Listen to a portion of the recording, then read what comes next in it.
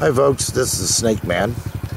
I'm uh, still up at Pala U. Uh, I'm nine miles uh, north of the city and I wanted to shoot this video to show you how lush and emerald green uh, these mountains are and the little valley up here.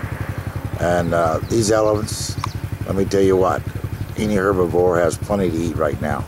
This grass is three, four, five feet tall and very lush.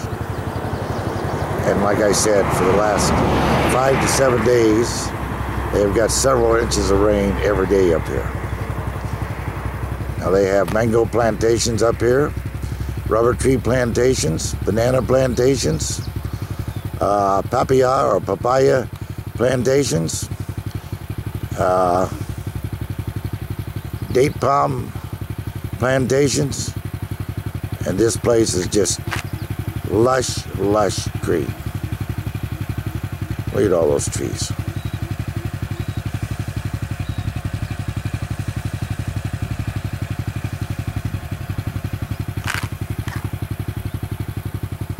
These mountains, I'm going to zoom in on them here, are absolutely gorgeous.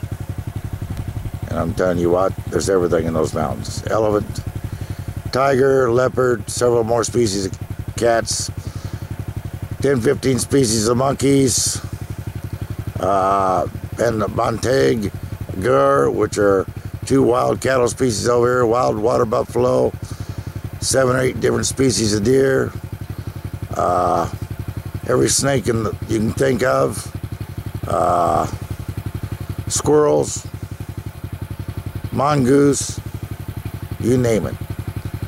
Now, right over those mountains that you're looking at right now, folks, probably uh, from that highest one right there, maybe another kilometer straight west, and you're in the Burma.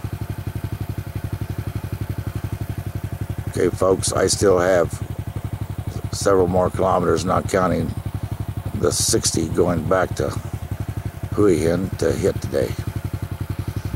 I'll post this tonight if I'm not too tired, and you can see it in the morning when you wake up. It's the Snake Man nine miles north of Pala U, Thailand,